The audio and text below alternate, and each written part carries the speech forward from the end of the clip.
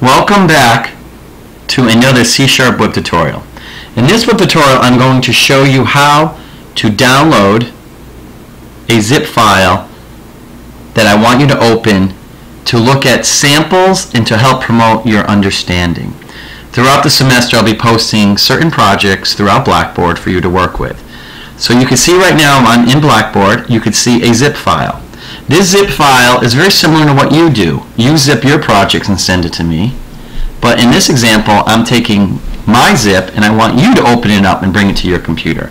So I'm going to right click and I'm using Mozilla Firefox and I click Save Link As and you can see it has a .zip extension and I'm going to put it where I put all my Visual Studio projects. My documents, Visual Studio in the projects folder and I click Save. One difference is you're not going to double click from the download window. You're going to right click and do Open Containing Folder. And you can see it's right here. I right click and choose Extract Here. You may need to download and install WinZip or another zip package for you to have the ability to unzip.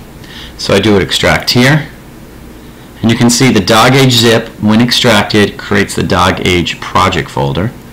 I click into there, and you can see there's a bunch of files, but the one you want to click on is right here. You can double click on it, or you can right click, open with, and choose Visual Studio.